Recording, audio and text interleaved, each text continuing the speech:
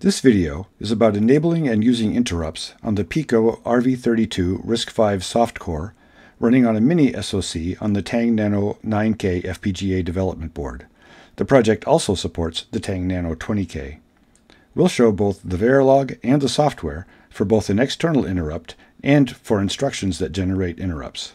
For the external interrupt, we will connect one of the onboard push buttons, so this project needs nothing but the Tang Nano board.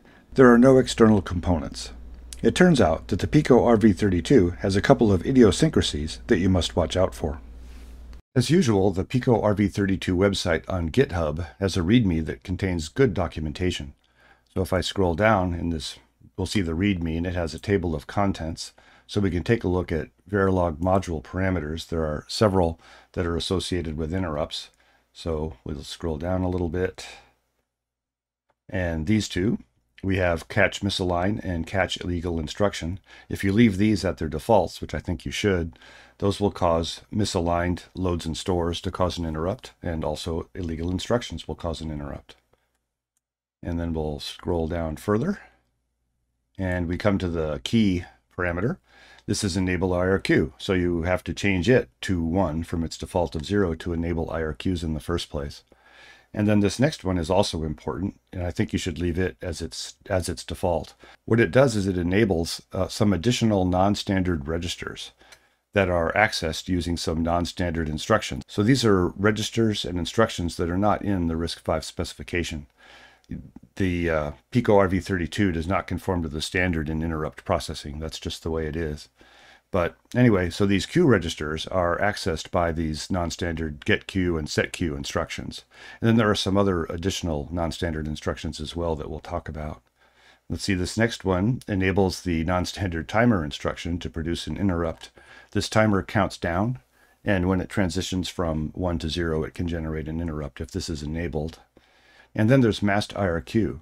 So a 1 bit in this position permanently disables IRQs in the corresponding positions. By the way, there are 32 total interrupts. I don't think I said that. Latched IRQ, we'll talk about this in detail later. It's one of the idiosyncrasies. It's supposed to distinguish between edge triggered interrupts and level triggered interrupts, but I don't think it actually does that. So we'll, we'll talk about it later. And then this is the address of the IRQ handler in software. So I'm leaving it to its default of 10 hex. And uh, this is the the address of the first fetch when the part comes out of reset. So I'm leaving it as its default of zero. Now we're scrolled down to the section in the README called Custom Instructions for IRQ Handling. And this describes the additional non-standard instructions that exist for allowing software to handle interrupts on the Pico RV32. And um, we'll talk about the signals later. But, but one thing is the first three of the interrupt signals sort of do double duty. You can cause interrupts to occur by driving those signals, but but these first ones are also triggered by instructions. So IRQ0 is the one that will fire when, when the timer instruction that we'll talk about expires. And eBreak, eCall, or illegal instruction uh, trigger IRQ1. eBreak and eCall are associated with doing things like system calls and operating systems. And then bus error, uh, IRQ2, triggers on unaligned memory accesses. Now let's scroll down and take a look at the special instructions. The first two are get getQ and set setQ, and those exist to allow software to copy data between the regular RISC-V registers and the four special Q registers. So they're simple enough, but vital for the processing of interrupts. Return from IRQ is what software runs to signify that it's done handling an exception. And so what this does is causes a return to the normal processing of the regular software. And it does that essentially by branching to the address stored in Q0. But executing this instruction also tells the hardware that the interrupt handling is complete. And mask IRQ uh, acts a little bit strange. We'll talk about it a little bit more later. But its purpose is to allow software to dynamically determine which interrupts are enabled and which are disabled. Wait IRQ allows you to wait for an interrupt. I actually haven't tested that one. And uh, timer is a special instruction that when you provide it a value in register X2, will count down from that value to zero. And upon the transition from one to zero, it can trigger an interrupt. and it actually puts the old value of the counter in X1. This diagram shows the Pico RV32's interrupt processing flow. When hardware sees one or more of the IRQ signals go high, it sets the Q0 register to the current program counter, sets each IRQ's corresponding bit in Q1 to 1, making a bit mask of IRQs to be handled, and for each triggered IRQ, it sets the corresponding EOI signal to high, indicating back to hardware that software is starting to process the interrupt. Hardware is free to use this signal or not. My example doesn't need it. Then, software takes over. It must save the processor state, meaning registers, to memory so registers can be used for interrupt processing, and then look at Q1 to see what IRQs must be processed. The software must process all of them. So then it processes them. Software can set up a stack and call a C function to handle the interrupts. That's what I do. When done, that C function returns. Software then restores the register states from memory, including ensuring that Q0 still contains the address at which processing must resume. Next, software does a ret IRQ instruction and hardware takes over again. Hardware then sets the EOI signals low, indicating that software is done processing the interrupts, and it resumes instruction fetching at the address in Q0. Here's the hardware. Note that when button 2 is pressed, it triggers IRQ3. Now, let's see it in action. I've loaded the image on the Tang Nano 9K, so if I press its reset button, we'll see something on the terminal window here on the left. And if I type HE, the software gives a list of commands that are supported in this image. The interrupt handlers simply keep a count of interrupts, and the PI command lists those counts. So, so far there haven't been any interrupts since the reset. The TI command with an argument like 6 does a timer instruction with value 6, which then immediately counts down to 0 and generates a timer interrupt, which we can see. Now that's 1. Um, II does an illegal instruction, and I'll show you how the software does that later. So PI, and now we have an illegal instruction. PI does a misaligned access. So now we have a misaligned access. And if I press button 2 and release it, and then do a PI, we should see an IRQ3. I'll do a second one of those. And we see another IRQ3 from the button. Now let's try masking. So remember we've only seen one timer interrupt. So if I do an MI1, that will mask the first interrupt, that which is the timer. And so now if I do a second timer interrupt like that, and I do a PI, if the interrupt weren't masked, we would see a second timer interrupt, but we don't. And so now here's the strange thing. If I unmask that interrupt by doing an MI0 and then do a PI, now we see that second timer interrupt. And what that means is that the masking is masking the delivery of the interrupt, but not but but still leaving it pending. So as soon as you unmask the interrupt, the interrupt gets delivered. So that's good to know. Now let's go over to the Verilog. So this is the uh, top level module. And so towards the top of it, we set the IRQ parameters like we discussed. So IRQ is enabled, QRegs are enabled, and also notice that all of the interrupts are set to be latched.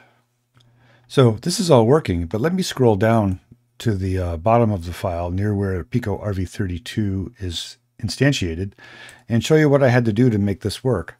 So in particular, I had to introduce a new module that I'm calling Edge Finder. And button 2 is the signal coming from the button. And what this module does is that it watches that signal for a rising edge. And when it sees one, it creates a one clock pulse. And it's button 2 pulse that I actually connect to IRQ3. Let's see what happens if I connect button 2 directly. And I would do that by changing this code down here to connect button 2 to IRQ3. But the uh, button on the Tang Nano 9K goes low when you press it, so I need to negate. The uh, module does that when I'm using Edge Finder. So now let's build and see what happens. This will take a little bit of time. And now the build's done, so we load the project.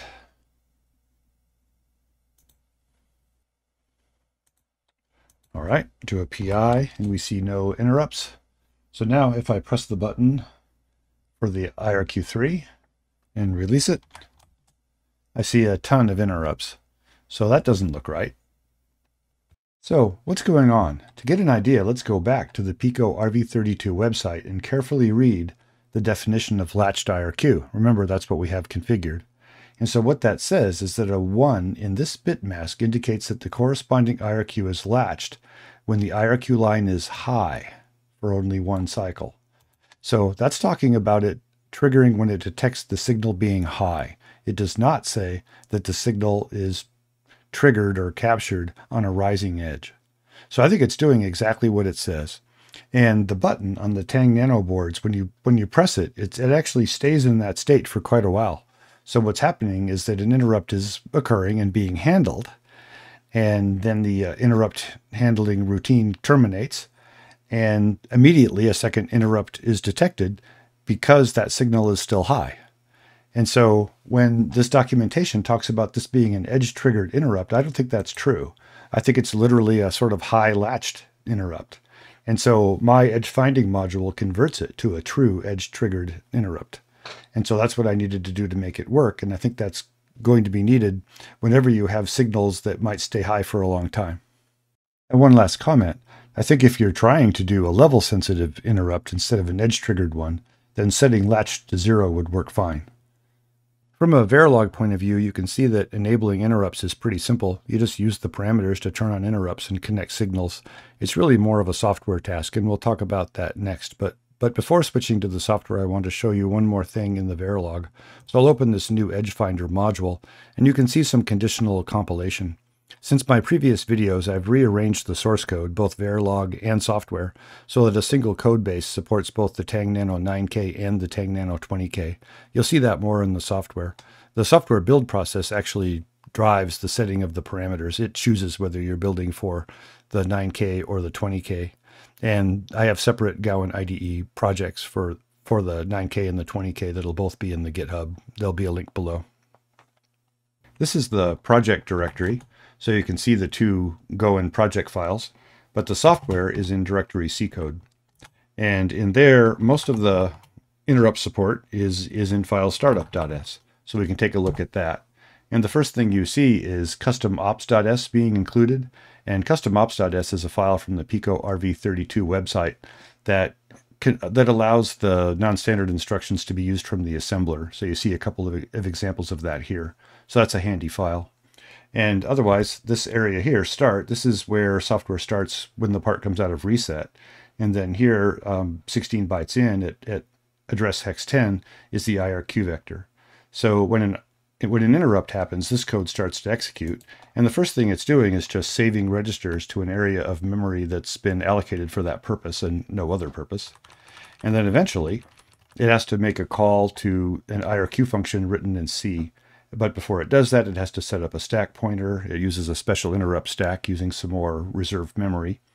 And let's see, like for example, right here is where it passes Q1, which contains the mask of interrupts to be serviced.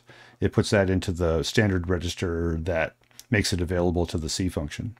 So the C function does its stuff, returns, and then code continues here, restoring the registers until it gets to the point where it does a return from IRQ instruction. And that completes the processing of the interrupt. But next we should look at the C code. The C IRQ function is in file main.c. So let's take a look at that. And we'll just search for IRQ open parent to find it. And so you can see this thing is really a very simple function. The bit mask of interrupts to be serviced is here in IRQs. So all this code does is check each one and keep a count. So it really couldn't be simpler. Earlier I mentioned functions for doing things like doing an illegal instruction. Let's take a quick look at that. So we'll find it like this, I think. So there is that function.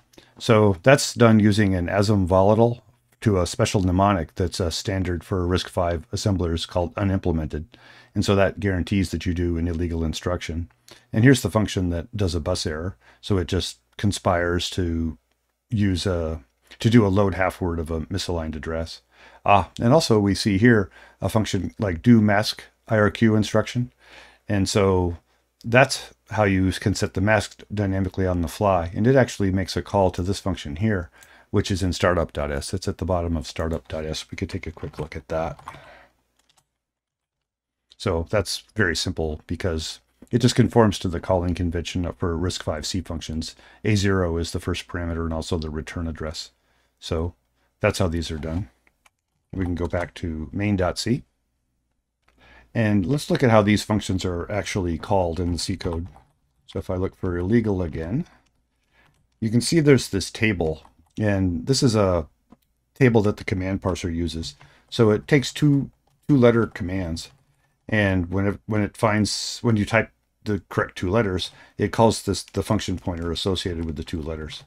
So it makes it very easy to add new commands to the command parser. And then let's look at a build. So I'll go over to this window here. And so in order to build for either the 9K or the 20K, you should probably do a make clean first. That makes sure that everything's out of the way for building for the other board. So when you switch which board you're working on, do a make clean.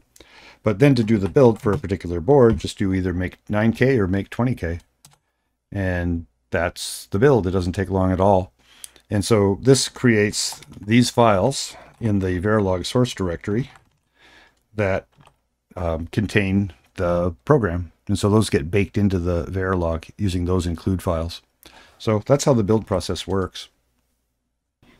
I made another significant change in unifying the code base for the 9K and the 20K. Now, both the 9K and the 20K use the RPLL to generate the system clock, assuming a 27 MHz input to the RPLL. This means that on the 20K, the external clock generator must be set to 27 MHz. The clock speed is selected by editing the software makefile.